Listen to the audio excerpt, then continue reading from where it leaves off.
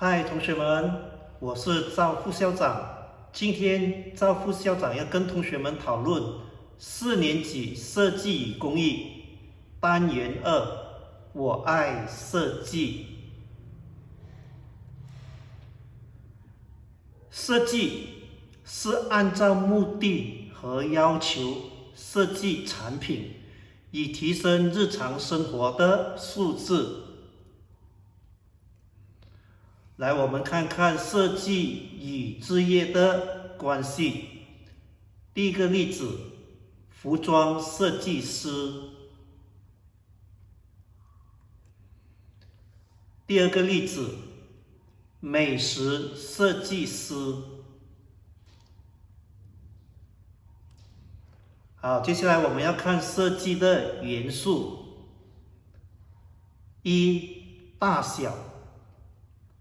二明度，三线条，四空间，五形状，六图形，七颜色，八质地。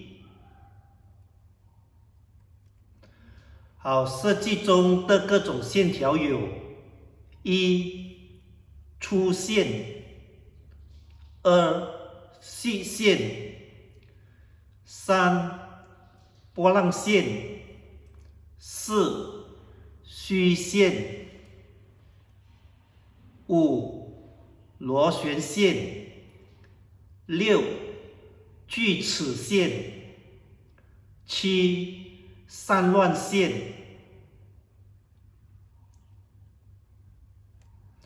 好，接下来我们运用各种线条及基本形状，以构思设计来描绘草图。草图可以运用各种绘画工具或电脑呈现。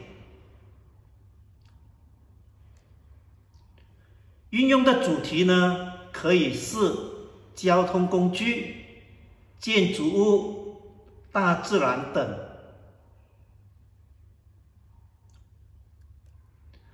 使用适当的工具来进行创意设计。我们也要使用适当的材料来进行创意设计。好，接下来同学们要完成这一题练习，运用各种线条及基本形状，描绘以建筑物为主题的草图设计。好，今天赵副校长就跟同学们讨论到这里。赵副校长希望同学们学习愉快，加油哦！Bye bye.